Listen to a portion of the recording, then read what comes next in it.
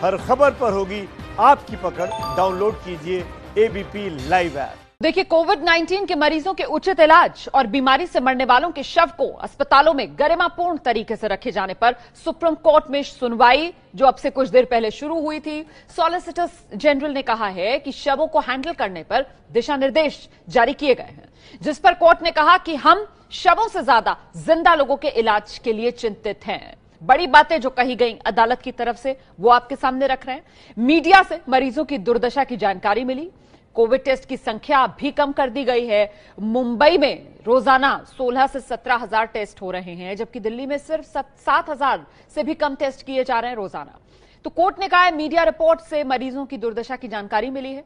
मरीजों को शव के साथ रहना पड़ रहा है। ऑक्सीजन जैसी सुविधा नहीं मिल रही है। आगे कोर्ट की तरफ़ से कहा गया कि लोग मरीज़ को लेकर इधर उधर भाग रहे हैं, जबकि सरकारी अस्पताल में बिस्तर खाली पड़े हुए हैं। तो भर्ती आखिरकार मरीजों को क्यों नहीं किया जा रहा? इतनी दिक्कतें मरीजों को क्यों आ रही हैं? ये वो तमाम सवाल जो सुप्रीम कोर्ट ने आज उठाए अपनी बातों के ज़रिए। सुप्रीम कोर्ट ने जो कहा, वो ज़मीन पर दिख रहा है। कोरोना संकट के बीच कई लोग इलाज के लिए भटक रहे जो दूसरी बीमारियों से पीड़ित हैं, उनको भी कोरोना काल में इलाज नहीं मिल पा रहा। रिपोर्ट देखिए।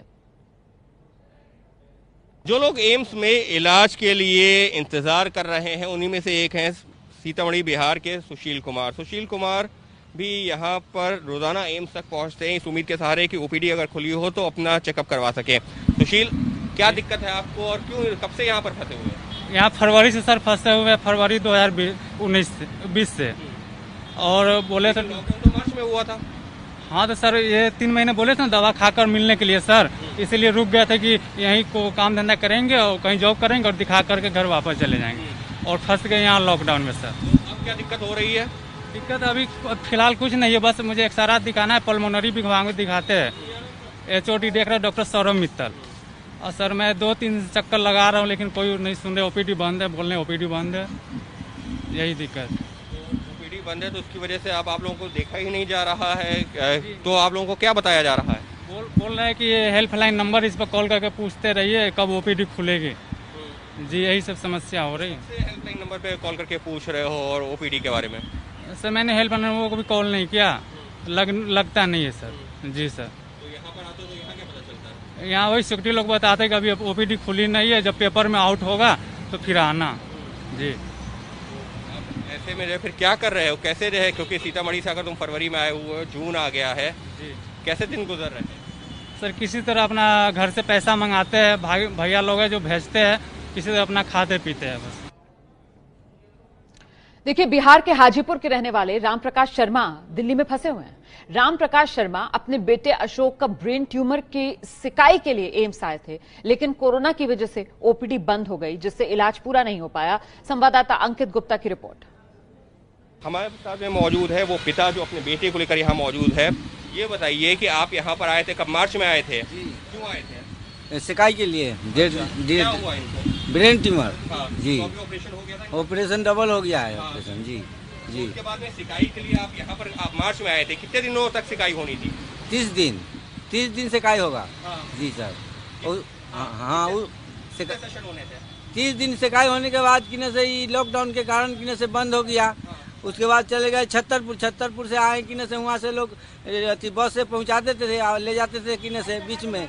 उसके बाद ए, फिर ए, मशीन खराब हो गया तो एक हफ़्ता खराब होने के बाद किने से फिर दो दिन से काय हुआ फिर किने से इधर लॉकडाउन हो रहा है छुट्टी हड़ताल किए हुए हैं मशीन हॉस्पिटल अब सोमवार से बोले खुलेगा बल मतलब जो है अगर ये लॉकडाउन नहीं होता और सही से काम चल रहा होता अस्पताल में तो क्या मार्च में ही इनका जो हो। जाता वापस चले जाते हैं? जी मार्च में ही हो जाता है ऑपरेशन सिकाई हाँ। जी। तो पिछले तीन महीने से आप कर क्या रहे हो फिर यहाँ?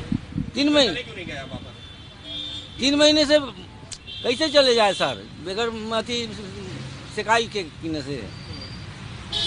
इसीलिए तो रुके हुए हैं। जी सर। ऐसे में आप लोगों को कुछ बताया गया कि कितने दिनों बाद ये सिकाई पूरी हो पाएगी कब आप वापस जा पाओगे? वो तो तीस दिन के सिकाई था सर। उसके बाद बीच बीच में मशीन खराब हो गया कि न से फिर हड़ताल हो गया छुट्टी हो गया कि न से तो कैसे होगा? किने से वही कारण किने से उसके बाद उधर ले गए हड़ताल में चले गए उधर किने से दो दिन की न से उधर स्कूल में रखा तीन दिन। उसके बाद छतरपुर ले गया किने से वहाँ से आठ नौ मंगल को किने से यहाँ पहुँचा दिया है।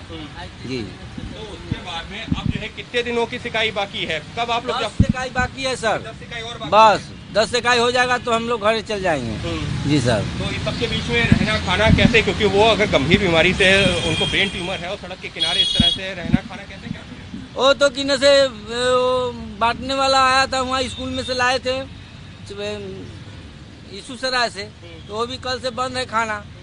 तो कल एक आदमी पुल के नीचे थे किन्ने से बैठे हुए तो किने से बांटने वाले जा रहे थे। तो मुझे खाना किने से दिया तो चार आदमी है हम लोग थे वो चार आदमी किने से खाए हैं। अभी खाना किने से नहीं खाए हैं। आप वापस अभी जाओगे जब एक बार सिकाई पूरी हो जाएँगी उससे पहले नहीं जाना? जी नहीं वो सिकाई हो जाएगा पूरी उसके बाद हम चले जाएँगे घर अच्छा एबीपी न्यूज़ संवाददाता सुरभि काक को लेडी हार्डिंग अस्पताल के बाहर सरोज मिली। सरोज के पिता को कोरोना पॉजिटिव पाया गया और इसके बाद एलएनजेपी अस्पताल में उन्हें भर्ती किया गया, जहाँ सिर्फ़ कोरोना की दवा दी जा रही है। सरोज के पिता को कोरोना के अतिरिक्त बीमारियाँ हैं, जिनकी उन्हें दवा नहीं दी जा रही है। इसे लेकर सरोज परेशान है। राजधानी दिल्ली के तमाम कोविड अस्पतालों की चिंताजनक तस्वीरें बंद होने का नाम ले नहीं रही। इस वक्त हम राजधानी दिल्ली के लेडी हार्डिंग अस्पताल के बाहर मौजूद हैं, जो कि केंद्रीय सरकार के अंतर्गत आता है। जब हम इस अस्पताल के बाहर मौजूद थे तो हमें सरोज जी मिली, जो अपना, अपने पिता की रिपोर्ट लेकर यहाँ दिखाई दी। तो हम सरोज जी से एक बारी बात करते हैं और जानने का प्रयास करते हैं।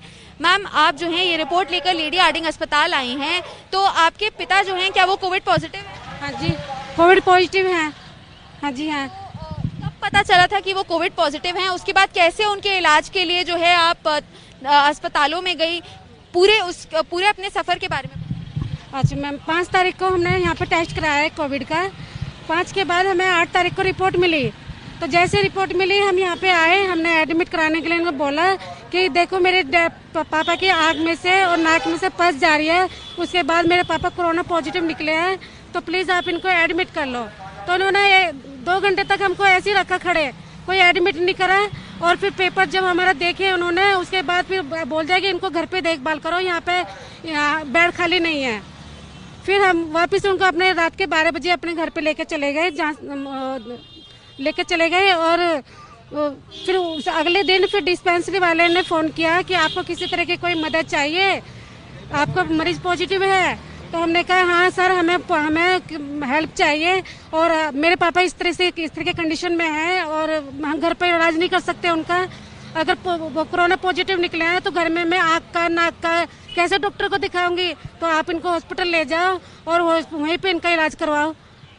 तो फिर उन्होंने लोक नायक हॉस्पिटल में लेके गए उनको एंबुलेंस में और फिर वहाँ पे जाके आज तीन दिन हो चुके हैं।